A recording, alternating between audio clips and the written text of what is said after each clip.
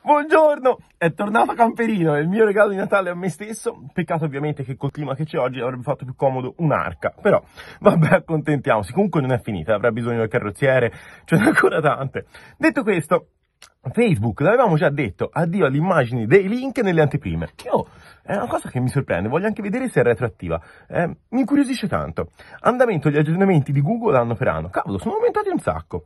Data Protection Officer negli e-commerce, quando serve e perché? Guida a Screaming Frog gratuita, penso che sia un argomento che va sempre ridetto. WhatsApp arriva la possibilità di riascoltare gli audio prima di mandarli, bellino. Il 26 dicembre del 1987 è nato il registro.it e è qui a Pisa, al CNR. Tool del Natural Language AI in Google Cloud ci permette di fare un po' delle stime su come funzionano questi algoritmi, molto carino. Guida il posizionamento sui motori di ricerca dei mitici Stefano Di Carlo e Roberto Serra, quindi da vedere subito. Antitrust, multa da 11 milioni a Unieuro, MediaWorld, Leroy Merlin, come si dice, Monclick, praticamente perché durante il lockdown in particolar modo hanno avuto delle pratiche non proprio corrette, tipo eh, mentendo un po' sulle disponibilità, sulle realtà date di consegna. Molto curioso, una lezione da imparare torna Postal Market, tanto che se ne sente parlare e ci siamo arrivati. È tornato. Facebook Ads cambiano gli obiettivi da 11 a 6, se non mi sbaglio, insomma, si cambia un po' questi aspetti da seguire. TikTok testa il repost. Boh, anche questo mi sembra abbastanza curioso.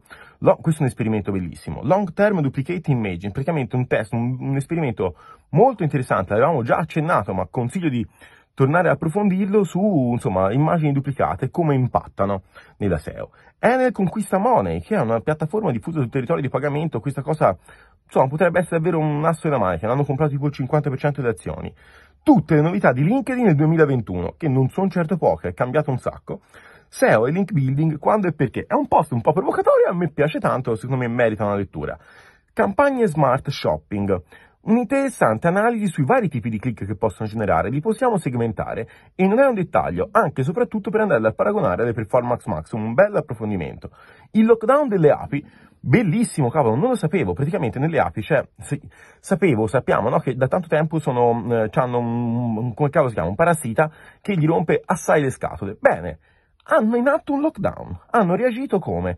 Isolando e non facendo entrare, o almeno non facendo entrare in alcuni posti, soprattutto dove ci sono le larve, le api infette e cambiando le cure parentali per le non infette. È veramente interessante, vi consiglio di leggerlo. Ci vediamo stasera alle 17 per gli auguri di Natale. Basta che mettete un commento, vi mandiamo il link a StreamYard per poter entrare e così tutti possiamo entrare e farci gli auguri in diretta. Insomma, una diretta aperta a tutti. Grazie mille, se non ci rivediamo, eh, tanti auguri. Ciao. Ciao e speriamo che smetta di piovere. Ciao.